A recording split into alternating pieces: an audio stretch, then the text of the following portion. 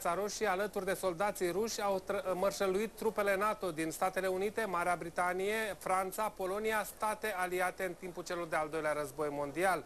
Au fost și soldați și ofițeri din statele CSI, inclusiv din Republica Moldova.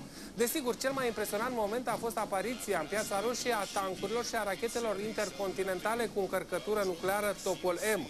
Aviația a făcut deliciul publicului, elicopterele, avioanele de luptă și cele strategice zburând la doar 400 de metri deasupra solului. Parada militară s-a încheiat cu un dineu la sala Sfântul Gheorghe din Palatul Kremlinului, un dineu oferit de președintele Medvedev uh, veteranilor și șefilor de stat invitați. Liviu, autoritățile ruse l-au invitat la această paradă și pe regele Mihai, singurul conducător de acum 65 de ani care mai este în viață. Ai vorbit cu fostul suveran. Cum i s-a părut ceremonia? Pot să vă spun în primul rând că de prezența regelui Mihai au fost uh, impresionați ziariștii care au participat alături de mine la parada militară din Piața Roșie. Mulți mă întrebau dacă el este regele Mihai și îl admirau cât de bine se ține la această vârstă. Majestatea sa ne-a împărtășit din uh, impresiile sale despre prezența în, uh, la parada militară din Piața Roșie.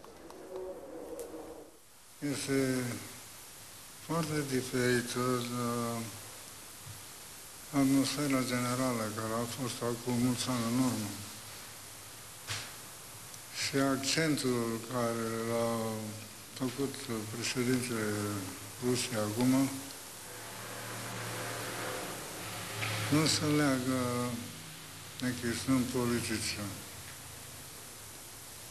El a pus accentul pe armata română și pe mine că a fost comandant singurul care a rămas în toată lumea, în viață.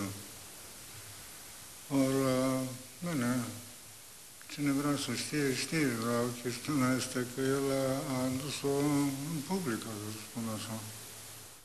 O, ultim, o ultimă întrebare, Liviu, și Rusia resimte efectele recesiunii mondiale. Cât a costat această defilare absolut impresionantă? Știu doar câți bani s-au scos din visteria primăriei Moscovei. 3 milioane de euro, dintre care un milion doar pentru uh, prăștierea norilor. Nu se știe câți bani au fost alocați și de la bugetul federal de stat, având în vedere angrenarea aviației strategice și a tehnicei grele de luptă.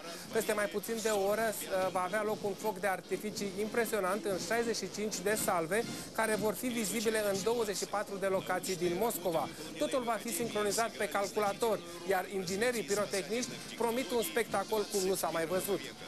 Mulțumesc pentru informații, Liviu Iurea de la Moscova.